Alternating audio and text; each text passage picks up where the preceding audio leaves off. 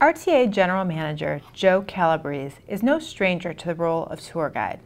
That's because people from all over the country and world have come to Cleveland to see the Healthline in action. By using designated bus lanes and timed stoplights, the bus rapid transit is designed to take riders from Public Square to University Circle in 20 minutes.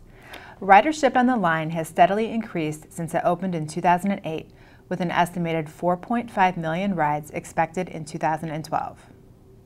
This whole concept of bus rapid transit is a very new public transit mode where, you know, trains started in the 1840s and buses in the 1920s. So this is a new mode. People don't really understand it. It's kind of like part train and part bus. So here we give them examples of how we've done it and how it's worked and what the reaction has been. So I think this put public transit on the map in a number of ways with the understanding that a great public transit project could develop in great developments and really could help renew uh, areas of the city and renew areas of the region. So certainly the response has been tremendous.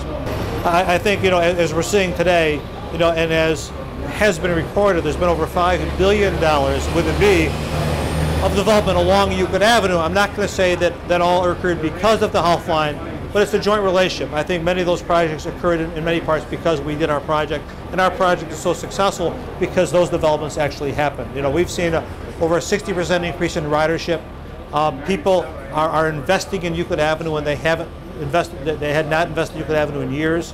Uh, if we look at some of the pictures back in the 2002, 2004 area before our project started, you can see really what looked like a depressed area. I mean, very difficult in terms of infrastructure, sidewalks, lack of investment, and because we made our investments, other people invested as a result of that. So the project success is, yes, what we did, more importantly, how other people leveraged what we did to really improve their individual piece of Euclid Avenue and as a whole made everything work together.